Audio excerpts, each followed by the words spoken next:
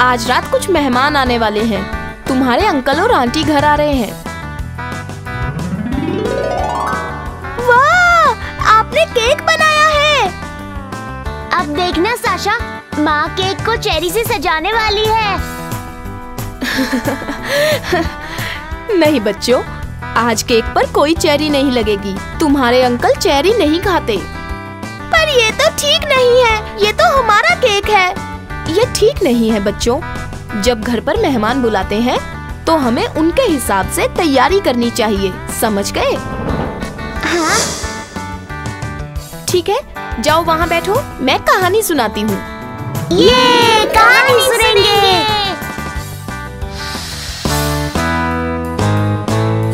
बहुत पहले एक फॉक्स और स्टॉर्क पड़ोसी की तरह जंगल में रहते थे।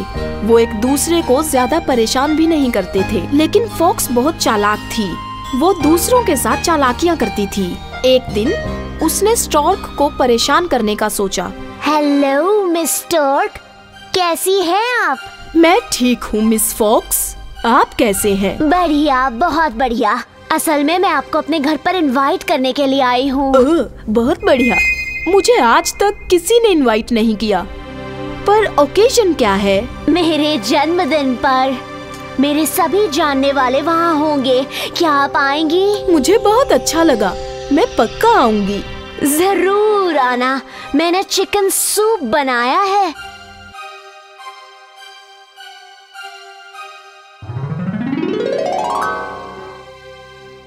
फॉक्स इस पार्टी के लिए बड़ी तैयारी कर रही होगी।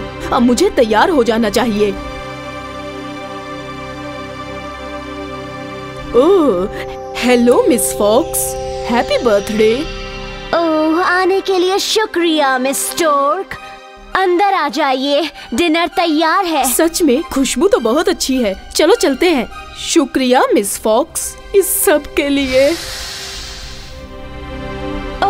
अब रुकिए मत मिस स्टोर्क ये रहा सूप।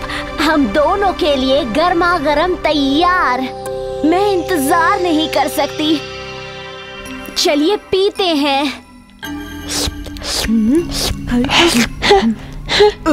इस चालाक फॉक्स ने मुझे बेवकूफ़ बनाया है। मैं कितनी बेवकूफ़ हूँ ना। कुछ दिनों बाद स्टॉर्क का जन्मदिन था। Oh hello miss Stork hi मैं आपको अपनी बर्थडे पार्टी के लिए यहाँ इनवाइट करने आई हूँ। मेरे कुछ रिश्तेदार और आप अगर आप आएँगी तो बहुत अच्छा ये लगेगा स्टोर कितनी बेवकूफ़ है। मैंने इसे इतना बड़ा बेवकूफ़ बनाया तब ये यहाँ आई है। ओके इस बेवकूफ़ से थोड़ा और मज़ा लिया जाए। ओह ज़रूर। बहुत ही खुशी से मैं आऊँगी।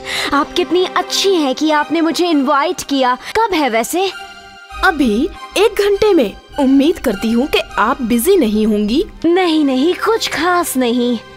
तब तो ठीक है। जल्दी आइएगा। मेरी बहन चिकन सूप बना रही है और वो बहुत अच्छा खाना बनाती है। आज तो बहुत ही बढ़िया दावत होगी। और मैं शेर की तरह भूखी भी हूँ। वाह आपको यहाँ देखकर बहुत खुशी हुई। आइए आइए सूप बिल्कुल तैयार है। कितनी अच्छी खुशबू है।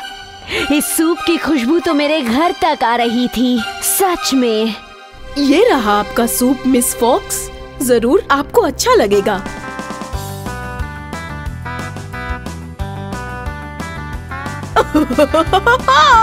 ओह क्या हुआ मिस फॉक्स?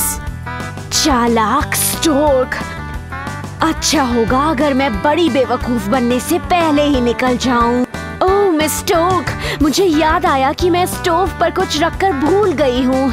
मैं अभी घर जाकर बंद करके आती हूँ। Excuse me excuse me but miss Fox क्या आप सूप नहीं पिएँगी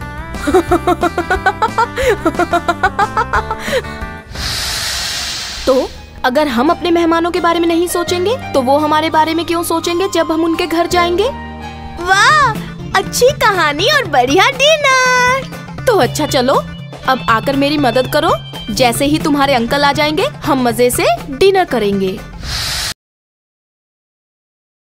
हाय मैं हूँ शाइनी। अगर आप मुझे ऐसे ही देखना चाहते हैं तो इस वीडियो को ज़रूर शेयर करें। और हाँ इस चैनल को भी सब्सक्राइब करना ना भूलें।